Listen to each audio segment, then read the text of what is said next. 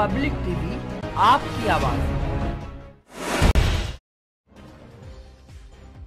जिला कृषि विकास एवं सांस्कृतिक प्रदर्शनी का शुभारंभ रविवार को रंगारंग तरीके से हुआ। आतिशबाजी से आसमान रंगीन हो गया। आकाश में रंगीन गुब्बारे उड़ाए गए।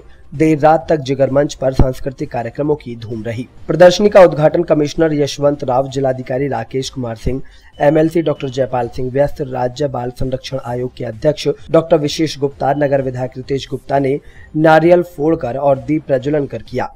इसके बाद प्रदर्शनी के आगाज़ की घोषणा की गई।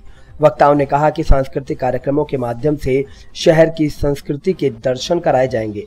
प्रतिदिन मनोरंजक कार्यक्रमों की प्रस्तुतियाँ होंगी। स्टॉलों पर विभिन्न योजनाओं की जानकारी मिलेगी।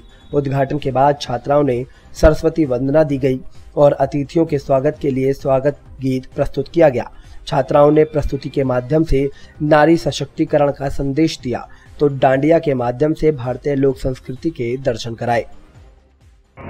आयुक्त मुरादाबाद मंडल, मुरादाबाद, जिला कृषि विकास एवं सांस्कृतिक प्रदर्शनी का, जो 2019 में आयोजित है, जिसका नाम अभिव्यक्ति है के शुभारंभ की औपचारिक घोषणा करता हूँ। धन्यवाद।